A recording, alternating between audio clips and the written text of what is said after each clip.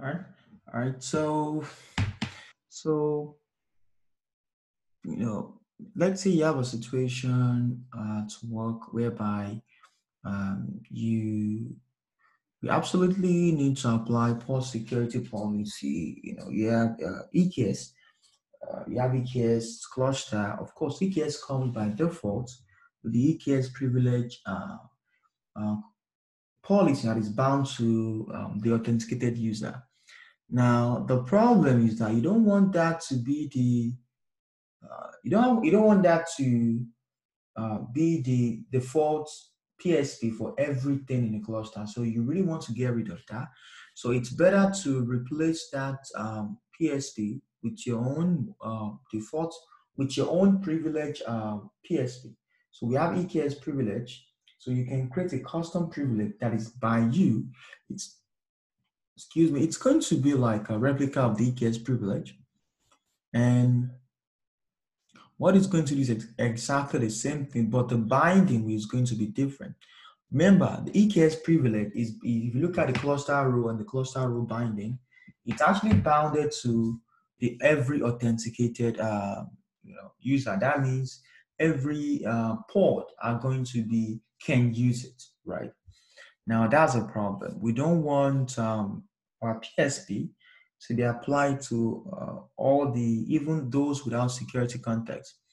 Now, so it makes sense to create a custom one and bound that to those that need it. For example, kube-proxy, for example, CoreDNS, uh, for example, AWS node. Those pods that have a privilege or a, a non-default uh, that requires a privilege um, context should have should be using, should be able to use the privilege, your custom privilege PSP. And I prefer this approach of, over the AWS provided one because that is simply bounded to everything that is authenticated. And once you have this PSP deployed, you can you can um, you can actually just uh, start using that right now.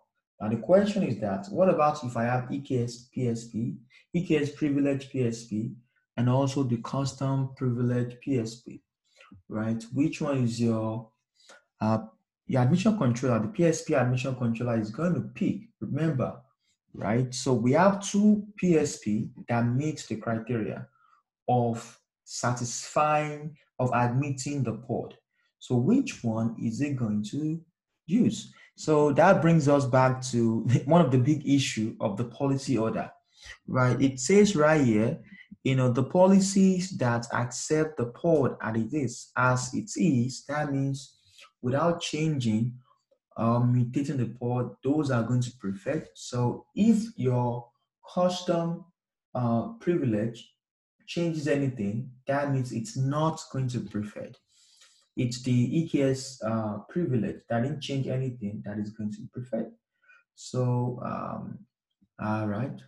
But apart from that, the general consensus is that um, uh, is that it, it follows, it goes by the alphabetic order. If, if a group of PSP satisfy uh, a pod requirement, that means uh, it's going to use one of them to actually admit the pod, right? So now that's going to be a problem. That is going to be absolute problem, right? So you have to be very careful the way you name your PSP, right? Remember, the naming in PSP matters. So take that. So when you're in production, make sure that you're very careful of the way you name your PSP because um, your PSP might end up my your admission controller might end up using the wrong PSP to validate and admit the pod, right? And make sure after you deploy your custom privilege PSP, you look at the annotation by the PSP admission admission controller to make sure that it was the pod was ad, are being admitted with the right one. And once you verify that your custom uh, privilege uh, PSP is working, then you can go ahead and remove the the one that AWS provided, right? Uh, so that's just about some of things I'm trying to like resolve. Uh, well, I already like made a couple of PRs about it, and I'm waiting for the PR to be reviewed. Yeah,